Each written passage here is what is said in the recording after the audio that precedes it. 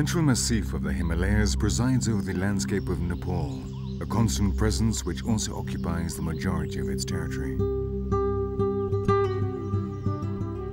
white peaks have always attracted man who consider them first as deities, then as challenges.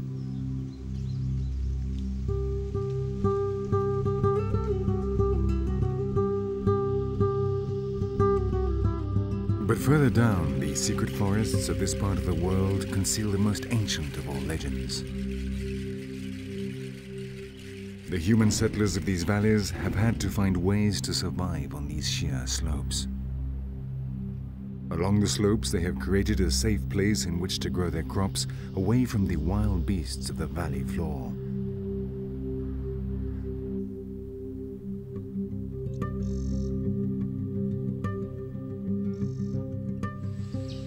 Their terraced fields look directly over the forest below, a superb vantage point from which to survey the jungle of the unicorn. In 398 BC, the Greek historian Ctesias wrote a book about Indian Nepal, and for the first time spoke of a wild beast which, to this day, continues to fascinate mankind.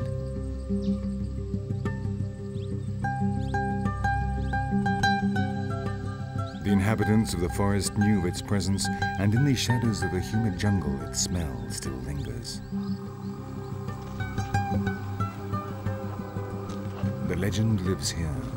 The magical creature with a single horn, spoken of in countless cultures, emerging from the mists of time, the most sought after mystery.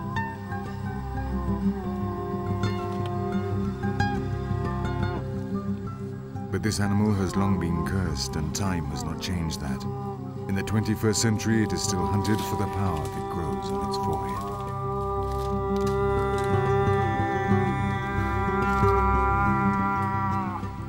We are going to enter the enchanted forest, the birthplace of the legend. On the tracks of the unicorn.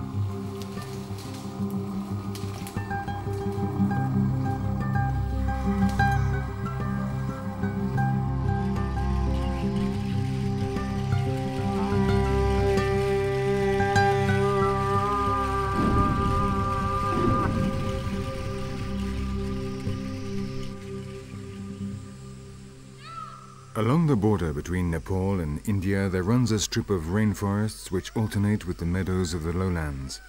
Open jungle whose floor, rich in pasture, provides food for many species of herbivores.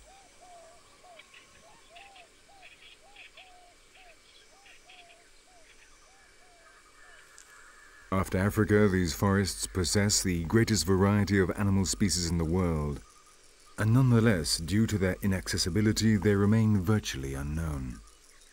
Large deer such as the sambars are the food of the king of the shadows.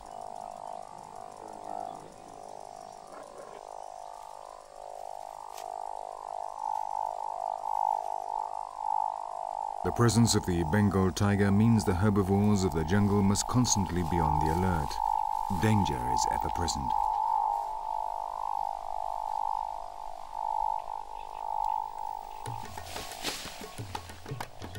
Pattern of the skin of this great feline forms part of the landscape as it hunts for the meat it needs to maintain its almost 300 kilos of striped body.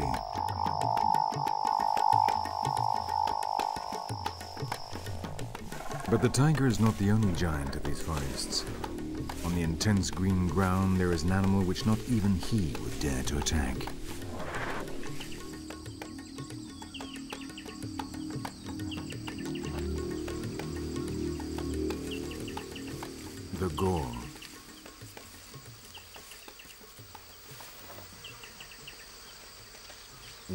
2,000 kilos, it is the largest wild bovine in the world. A ton of bad temper standing up to two meters tall.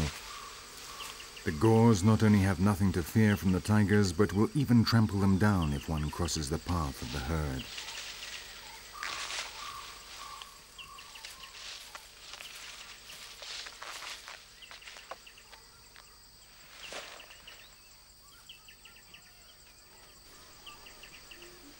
A less violent way to escape from the tiger is to climb up into the higher levels of the jungle.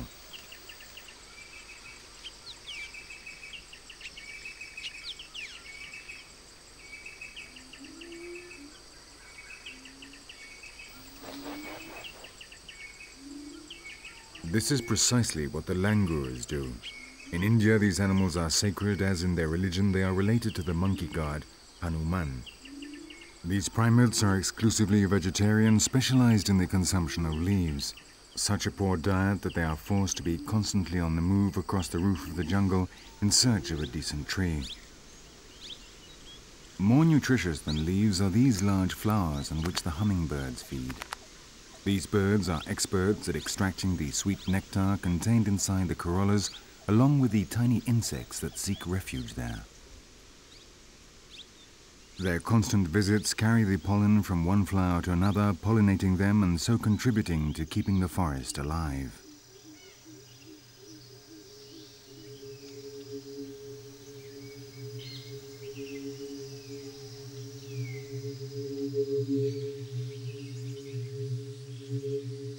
All these biological marvels were already here 2,000 years ago when the first travelers spoke of this land as a magical place inhabited by fantastic creatures, above all one in particular, the unicorn.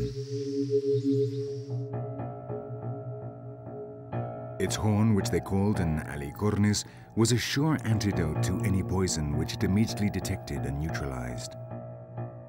This made it greatly desired by kings and noblemen, always afraid of being poisoned. Some of them offered vast fortunes in exchange for Romans and Greeks spread the myth and thanks to a translation by Luther, it entered the Bible itself where it is quoted seven times. The Roman Aelianus speaks of the Cartazon, a term taken from the Sanskrit Kartajan, which means Lord of the Jungle, and Pliny the Elder calls it Monoceros, with the head of a deer, the feet of an elephant, and the tail of a pig.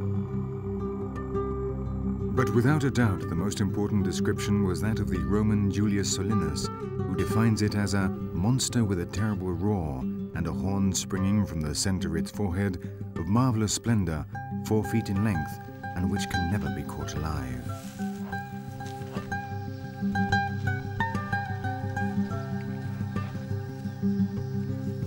The chronicler's description was not far from reality. The myth lives here, and it is the Indian rhinoceros. Its means of defense was in fact imported into Europe until the end of the 18th century as unicorn horns, to be used as remedies for a wide range of illnesses, and this belief still continues in traditional Asian medicine. Its leathery skin was also used for defense by men in the form of shields for the soldiers. This armor plating protects them from attacks by tigers.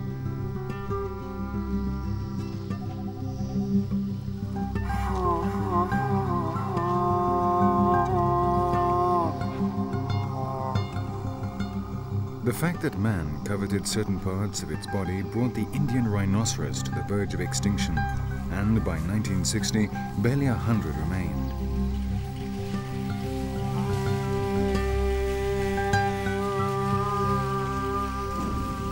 The massacre did not cease until 1976, when a division of the Nepalese army was given the task of protecting them from attacks by poachers.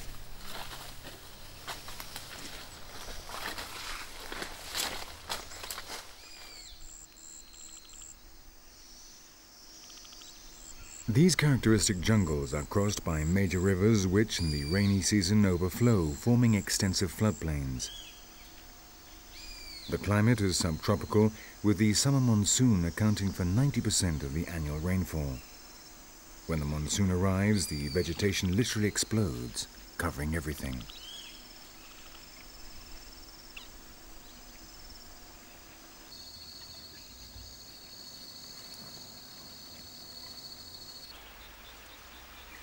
Flooded plains fill with elephant grasses so called because of their size as they grow up to 8 meters high.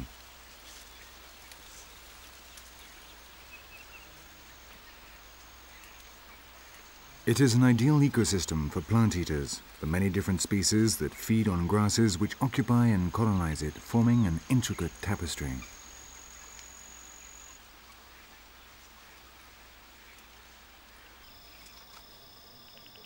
The incredible exuberance of the vegetation is hell for man, but not for the plant eaters who gorge themselves on the gigantic feast that covers everything.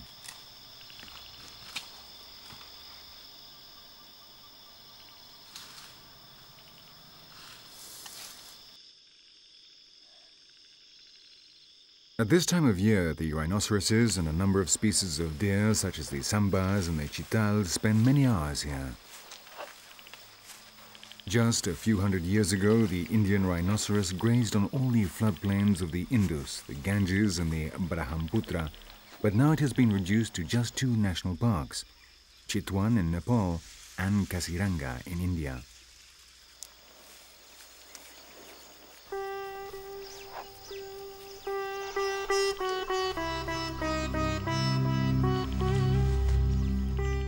This region called Terai forms the northern border between India and Nepal and is occupied by ecosystems characteristic of the sal forests and grasslands flooded by seasonal rises in water levels. These are the lands of the Indian rhinoceros, the final refuges of the unicorn.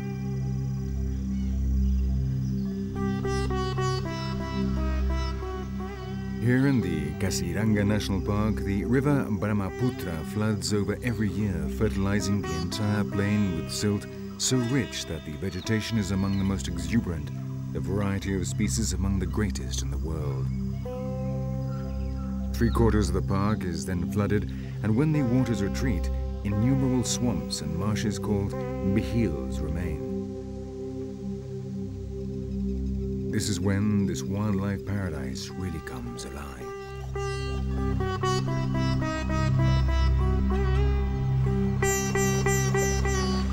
Seventy percent of the world population of Indian rhinoceroses live here. For them and for the Asian elephants, water provides a refuge from the heat and a place in which their enormous body weight is a little easier to bear.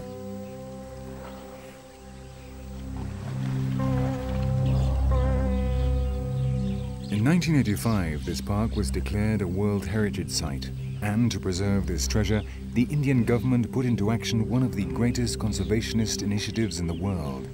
In Kaziranga, there is one guard for every square kilometer.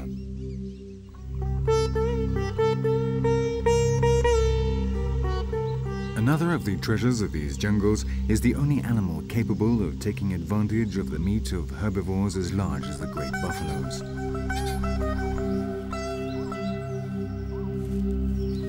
It is also hunted by the poachers, but its major concern is finding enough to eat.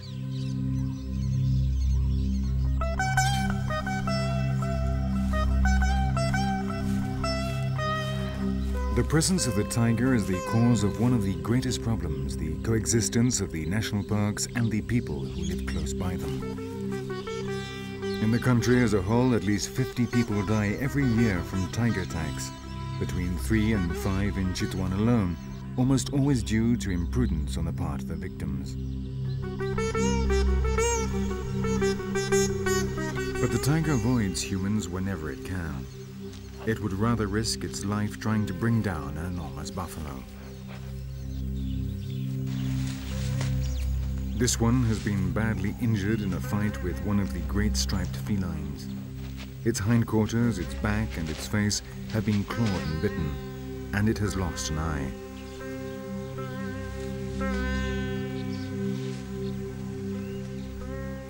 With humidity of around 90%, the wounds will not easily heal, and internal infections will kill it.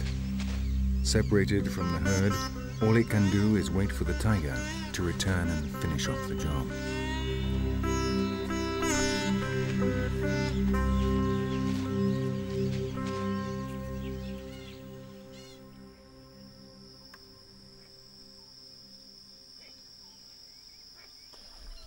It is easier to understand the function of the armor-plated skin of the rhinoceros. You can eat in peace if you have that kind of protection from possible attackers.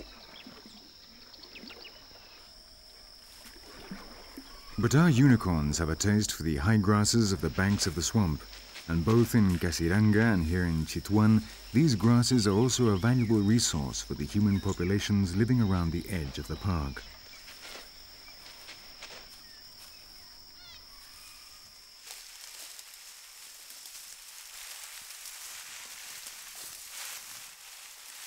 Since 1973, when it was declared a national park due to the fact it was the only place in Nepal where rhinoceroses remained, a number of human settlements have been moved. The people transferred to more fertile places without wild herbivores.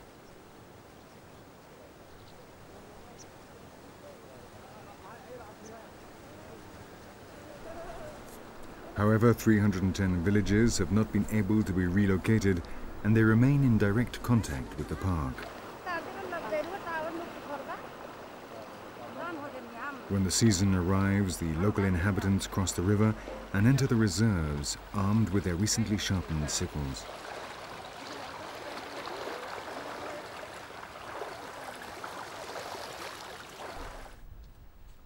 Here they find what they're looking for.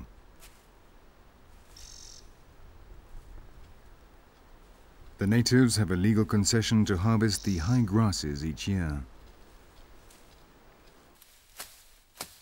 Around 60,000 people gather almost 11,000 tons during harvest time, which lasts for 15 days or so.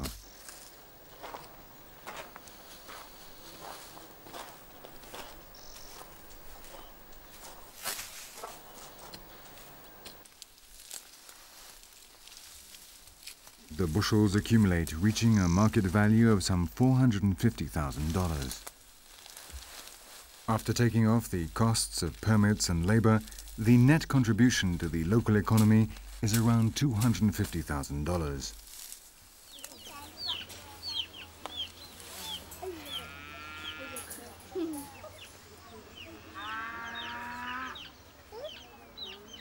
As well as the income from sales to the paper industry, the grasses are also a basic construction material for these people. They are also used to feed the domestic cattle, which cannot stray far in search of pasture for fear of being attacked by tigers.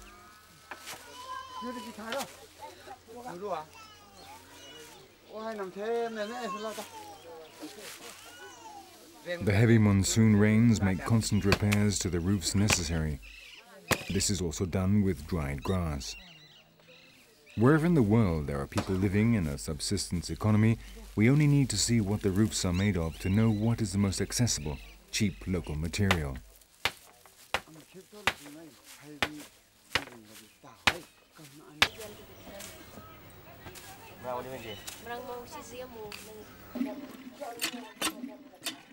Underground water, clean and healthy, is fortunately abundant. And from this and the soil, the women make adobe, which of course also includes grass among its ingredients.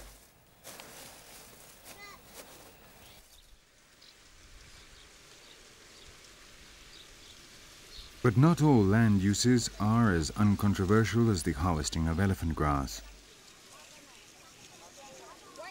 Wheat and cotton fields are slowly replacing stretches of jungle. Here, man is constantly present, carrying out the different tasks in the course of the year.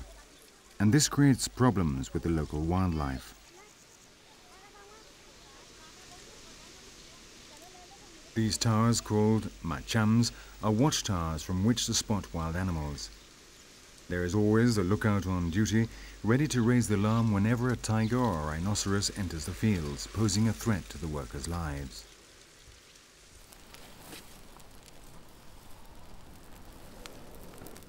In reality, all the animals are doing is returning to places that were always theirs, but which little by little have been stolen from them by man, who knows how to turn to his advantage the greatest enemy of the jungle.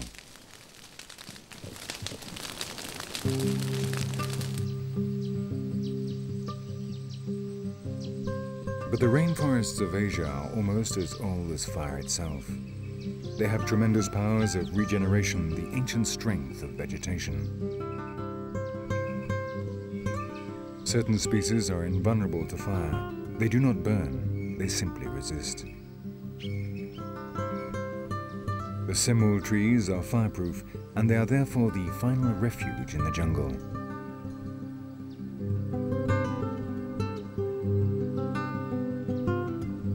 Chitwan means the heart of the jungle. And once more, in this part of the world, legend and reality go hand in hand.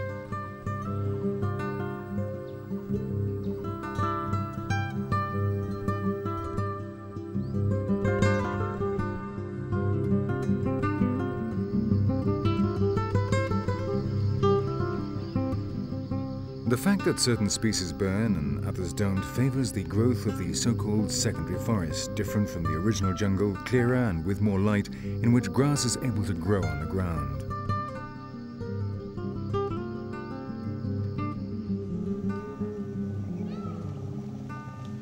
It is the perfect place for the ungulates, a paradise for deer who here form herds unlike their solitary relatives in the primary forests.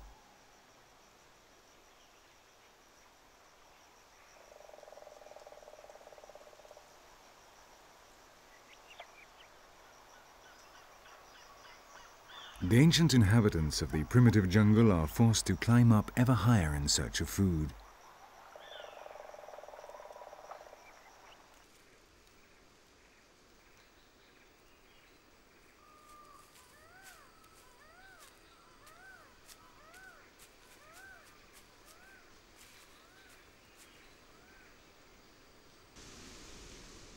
This is also home to a bird which for 3,000 years now has been an aesthetic symbol for man. This is the land of the peacock, the place in which evolution created such a strange creature. It is the national bird of India, sacred for Hindus and Buddhists alike, the destroyer of snakes and, according to popular belief, capable of hypnotizing them.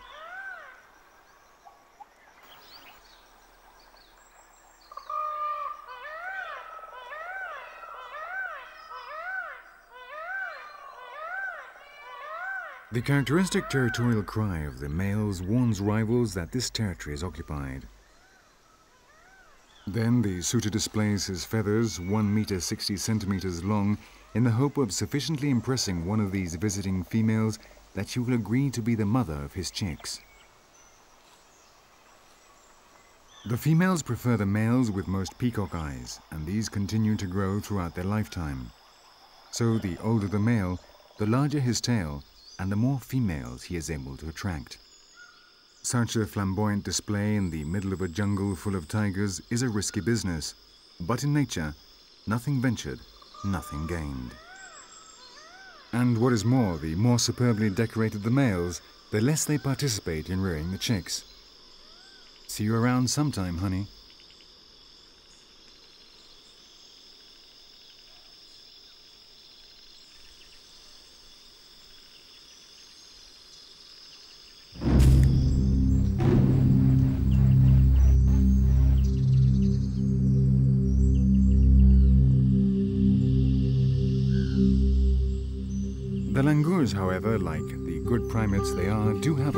Close family life. The baby langurs spend a lot of time playing and learning from the adults the tricks of life up in the treetops.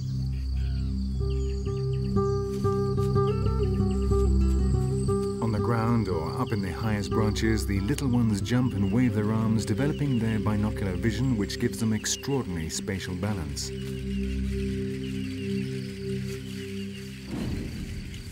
In their young brains, the neuronal connections are established which someday will save their lives when they have to flee from danger swinging from branch to branch.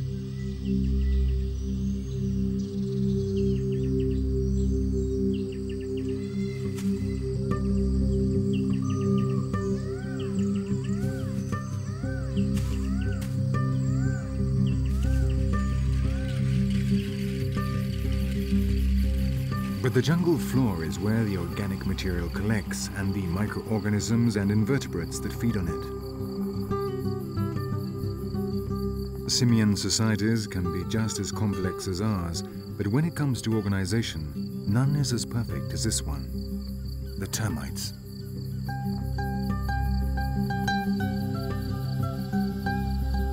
The termites do not form the bulk of their diet, but for older langurs, they are like spicy chili peppers, an amusing snack that breaks the monotony of all that leaf salad. Just stick your finger in and suck.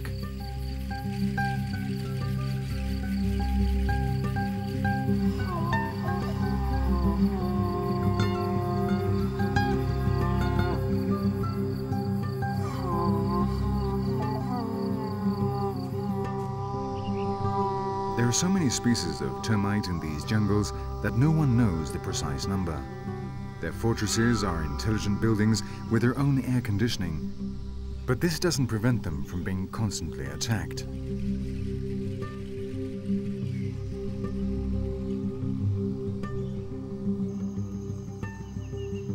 These are sloth bears.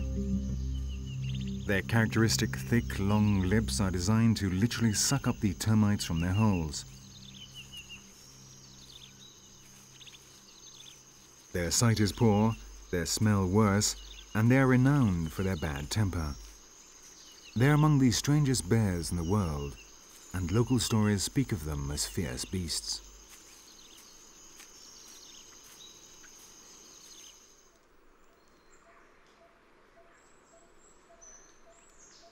The last jungles in Asia still contain so many mysteries that not a year goes by without it being discovered that an ancient legend really exists, or that a mythical animal has always lived here.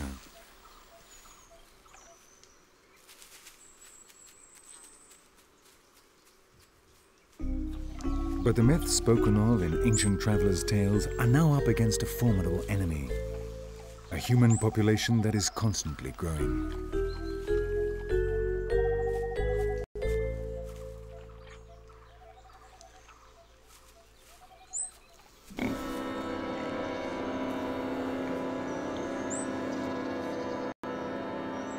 Like this giant boar, man and the great jungle stand looking each other in the face, not knowing what to do, unsure who will take the first step.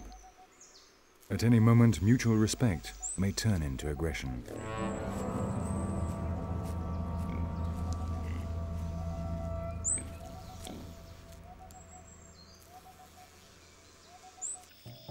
And what will happen to the unicorn then?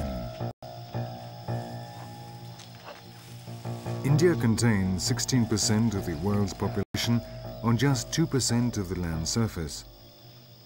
But the tradition of creating forest and nature reserves dates from the 4th century BC. For the time being, Chitwan and Kaziranga are a good home for the rhinoceroses, with around 400 in the Nepalese park and 1,200 in the Indian one as well as other small groups scattered across another six areas.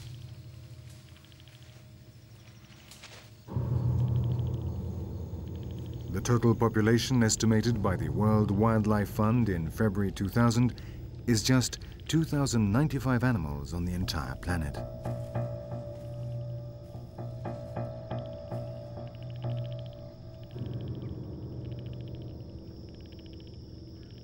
Weighing almost 2,000 kilos and weighing 4.2 meters in length, it needs up to 5 square kilometers to cover its territorial and dietary needs. Its constant movements among the grass create an entire network of tracks which other animals take advantage of.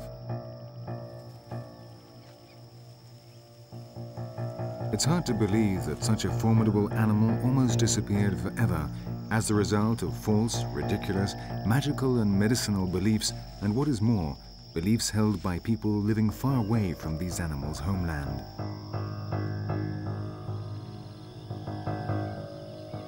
The Indian rhinoceros deposits its feces, creating over the years large piles which act as olfactory markers or beacons, defining its territory. Gigantic dung heaps that are impossible to ignore, even for the least sensitive nose.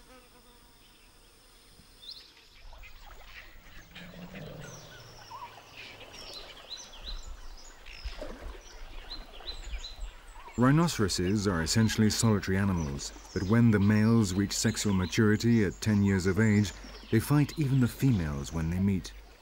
During these rare encounters, even the elephants prefer to leave them to it. Scenes like this represent like few others the essence of the wild paradise of this part of the world.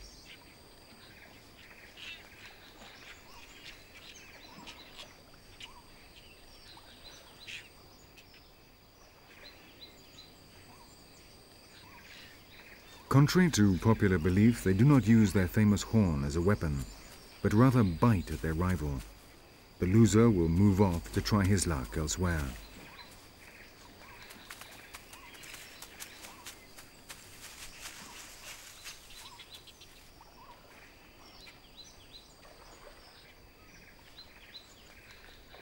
Another of the paradoxes of the ancient unicorn is that its horn is not the part of its body the Nepalese most appreciate.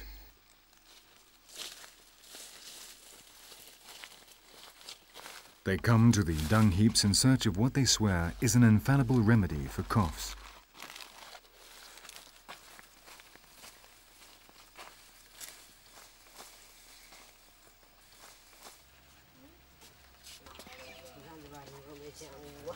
When you get home, nothing better than making yourself comfortable and enjoying one of the most highly prized products of the land. All you have to do is to spread out a piece of paper and sprinkle a little rhino dung on it.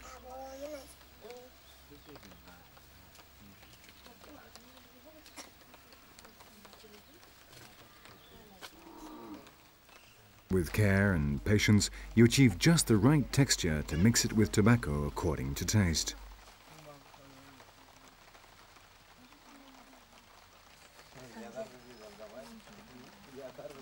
An exquisite cigarette containing the most select feces in the region. For them, the enormous piles of dung are a plentiful supply of the ingredients for the finest tobacco. Without a doubt, an exclusive luxury that only a few can enjoy. The taste of a legend would surely be a fitting advertising slogan.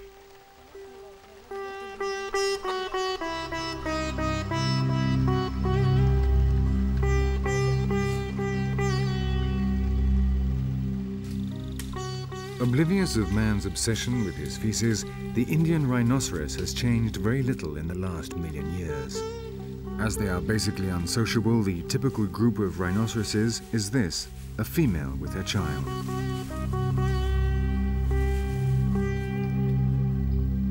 A vegetarian diet is lacking in a number of nutrients, which the rhinoceroses have to obtain from other sources. In certain places in the jungle, the soil is rich in mineral salts and trace elements, and so the mothers take their children there from when they are very young. They memorize the location, and so the knowledge of these secret places is passed down from one generation of rhinos to the next.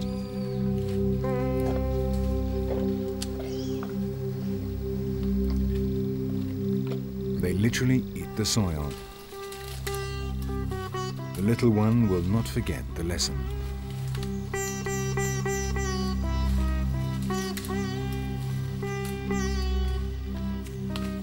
No one in the jungle would dare disturb a female rhinoceros with her young. Their ferocity and courage are almost as legendary as their horns.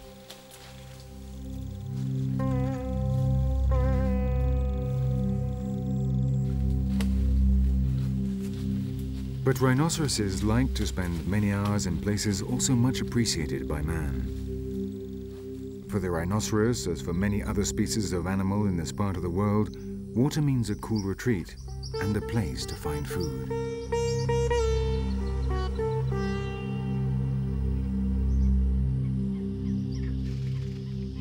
In the river valleys and in all the low regions which are periodically flooded, these swamps are formed, covering immense areas along the banks of the Brahmaputra and the Ganges.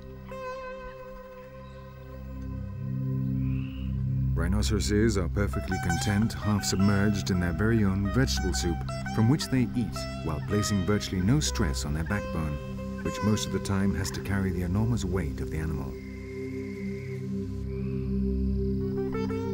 This tendency for very heavy mammals to submerge themselves in water and so compensate for their weight was precisely what led some of them to return to the sea many millions of years ago, giving rise to the cetaceans.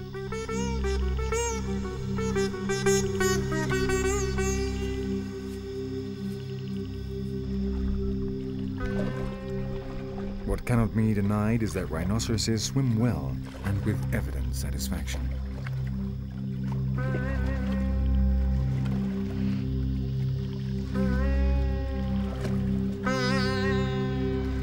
As they constantly move in and out of the water, these giants open up the vegetation, stirring up the mud at the banks.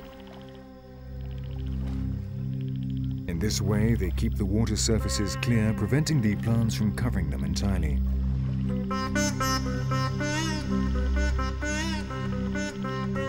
Without rhinoceroses and elephants, there would be much less open, available water, and the number of bird species in the region would be considerably reduced.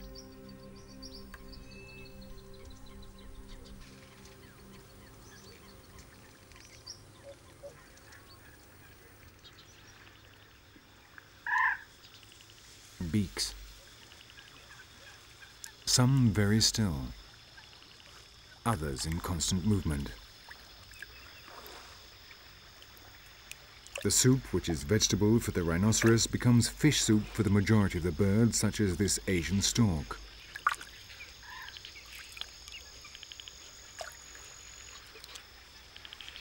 Or this heron, which prefers more decisive movements.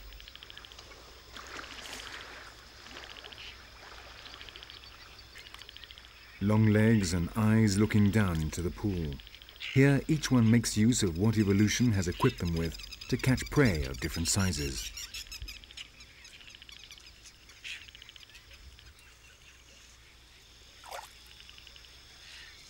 This male Asian jabiru is also a type of stork. Unlike all others in the family, is not adverse to scavenging when carrion is around, in this case the dead body of a coot. But neither its legs nor its beak are adapted to feeding on meat, and it'll have serious problems digesting something so large. Each animal has its own techniques. This is an anhinga, a type of long-necked cormorant, and it has a little problem. It seems to be offering its catch to the sun, but in fact it is warming up after fishing because its plumage is not completely impermeable.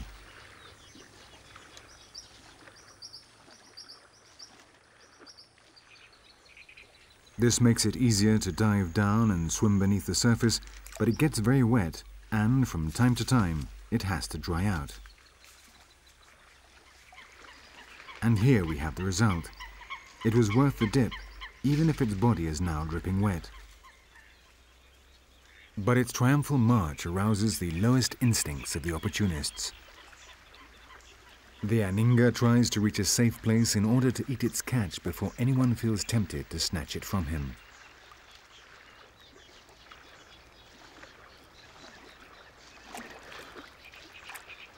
It is hardly elegant as it emerges from the water, and its problems are not over yet. The fish is stuck, and it will have to gobble it down, scales and all.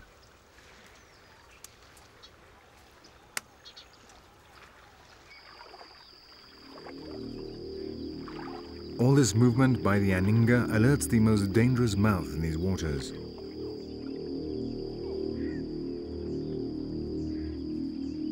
The marsh crocodile can be found throughout much of the Indian subcontinent. Over four meters in length, it shelters in holes and eats birds.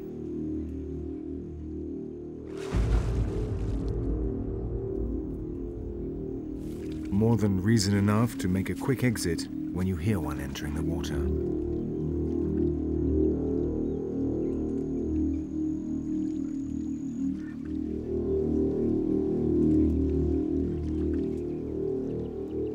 This enormous snout belongs to a close relative of the crocodile and an expert fisher. The gavial can reach up to six and a half meters in length and is a zoological treasure that lives only in this part of the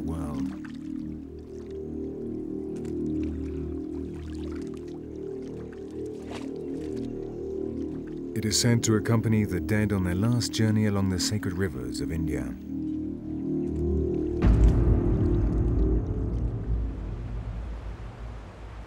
The shallow water courses are also the scene of hundreds of small dramas which often go unnoticed. These two toads of the Bufo genus are engaged in amorous activities, but they are being spied on by a very dangerous onlooker. A water snake like this one knows how to choose precisely the right moment. As it approaches, its forked tongue transfers the smells of the river to the olfactory receptors on its head. The slippery lovers add their body fluids to the water without suspecting this could be the last thing they ever do.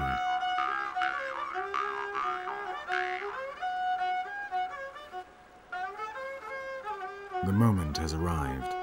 Slithering along, the snake approaches, but the female toad who is on the bottom has seen it. Such sudden agility surprises the snake, and not the male toad who gets on with the job, not suspecting his girlfriend is saving his life.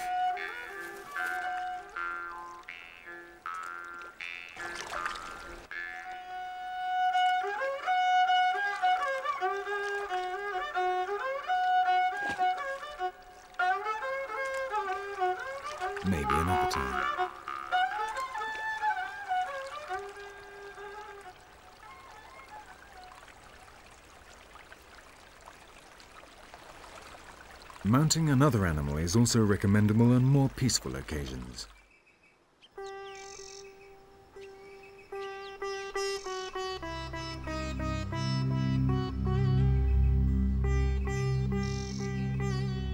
Tourists riding on elephants. The national parks of Chitwan and Kaziranga can be visited by anyone willing to sit atop the king of the jungle, emulating Hannibal himself. Since at least 2000 BC, elephants have been tamed and trained by man for construction, transport and war.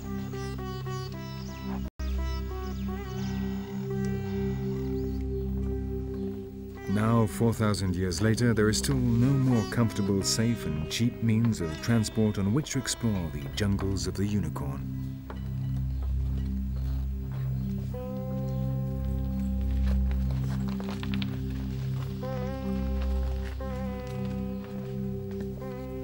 Up here, the visitors are safe from tigers and have a superb view of their surroundings. And thanks to this new ecotourism, the ancient tradition of the mahouts, the carers and drivers of these pachyderms is being preserved precisely at the time when traditional uses are in decline.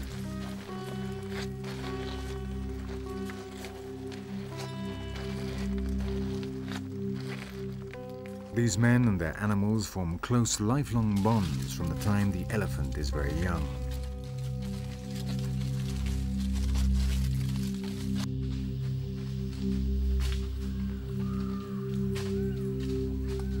In this way, traveling around on the back of an elephant has become a new source of income for the local population. And this benefits not only the rhinoceros and the tiger, but the elephant itself, along with the ancient tradition of training them.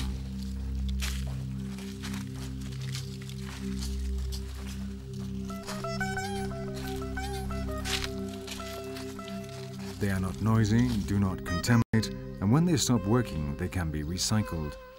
And what is more important, the other inhabitants of the jungle are used to their presence, and so they do not frighten or disturb them.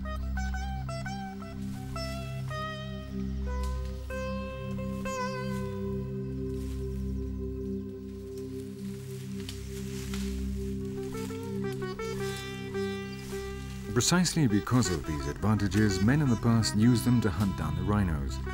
But as in many parts of the world, the Indians and Nepalese have realized that a live rhinoceros brings much more income than a dead one. A good trophy satisfies just a single hunter, while a live specimen can attract hundreds of amateur photographers.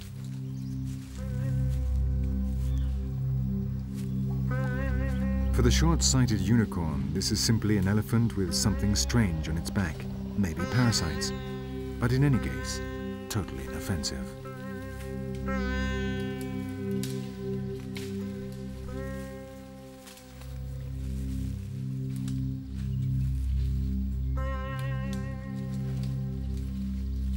Thanks to the elephant, we have been able to enter the world of the unicorn, nightmares have not changed much despite the passing of time.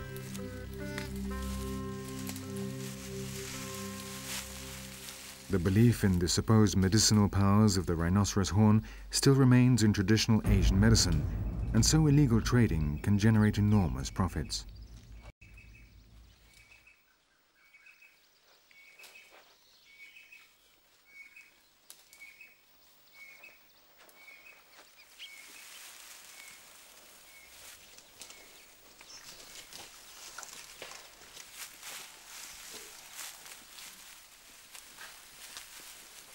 In Bangkok, a kilo of Indian rhinoceros horn costs over $16,000. And in a region where poverty is rife, the temptation to poach is enormous. The magic horn which made it a legend almost led it to join the dinosaurs, the dodo and the mammoth in the Book of Extinct Species.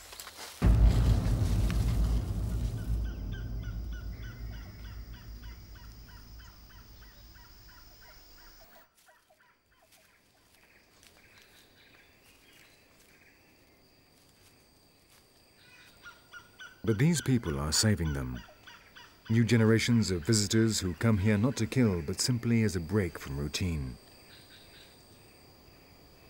Curious travelers willing to pay to catch a glimpse of a legend. A small army that comes in peace and sleeps, eats, drinks, and buys souvenirs here, thereby repaying the local population for their efforts to preserve the nature of their land. 26 years ago, Chitwan received fewer than 1,000 visitors. Today, over 100,000 come every year.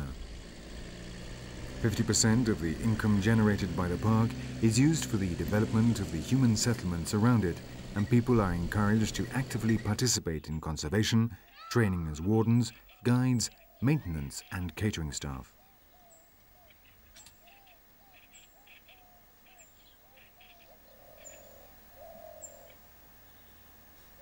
The charges for entering and camping in the park, the price of elephant tours and lodging and permits generate increasing income, making the local people more and more convinced that they are fortunate in having a national park on their doorstep.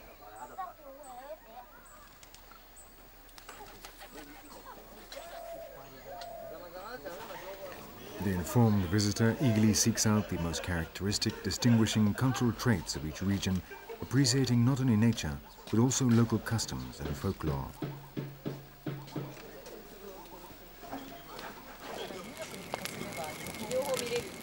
The crackle of a campfire in the forests of Asia is still something that many are willing to pay for.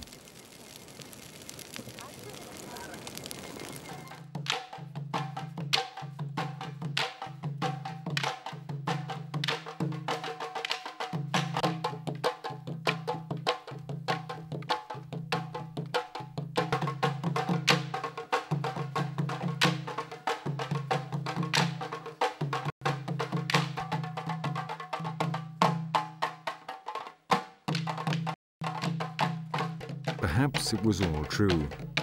Perhaps this is the magic of the unicorn.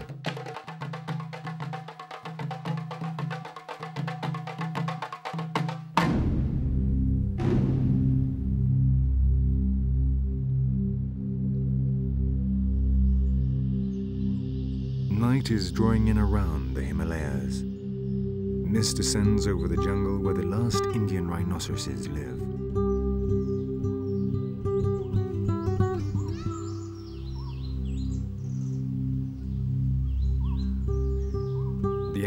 Female and her child, who brings hope for the species, are heading into the thick of the jungle to spend the night.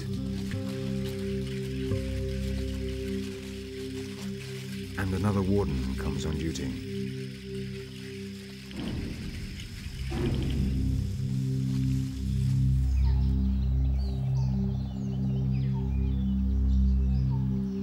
For some, a green hell, for others, the mythological forest inhabited by celestial creatures and unicorns, a place which holds an incredible fascination for all.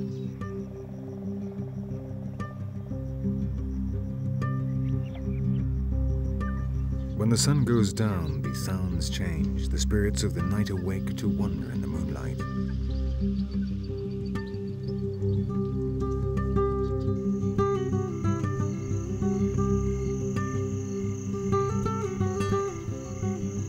That is how the legend was born, with the translucent wings of the bats, perhaps under the effects of a fever.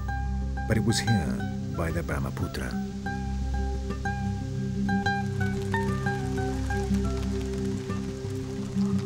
It was all true. This is the home of an incredible animal with a single horn emerging from its forehead, which can cure all the evils of the poor peoples with whom it shares this land. Being capable of attracting people from all over the world simply in the hope of seeing it. The legend did not lie. The unicorn exists.